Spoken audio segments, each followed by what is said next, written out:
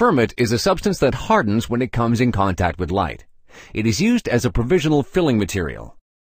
If applied correctly, Fermit will seal and protect your grinded down tooth from heat and cold for up to a week.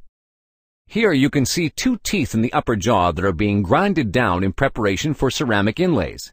The dark spot on the tooth are amalgam discolorations, not caries, and do not need to be removed.